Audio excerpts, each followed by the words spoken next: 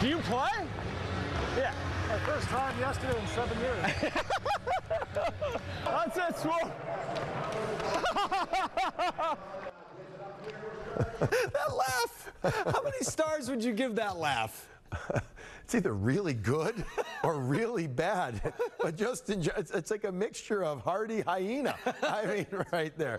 Uh, you know what? He's having a good time. It's fun. I didn't get to talk to him today, so I want to make sure that I want. He's okay. And He got out of bed, right? If he was right. all right, how many Advil did he need? Yeah, because he did. Uh, how many stars, by the way, on a scale of one to four? On the laugh? Yeah. I'll give it a four. It's so good. Star laugh. Yeah, yeah, and, and you know, I mean, something that his kids can make fun of him on too. Yeah, that's that's true, and we put it on TV uh, multiple times over the weekend Oh. and to start this week. So there you go.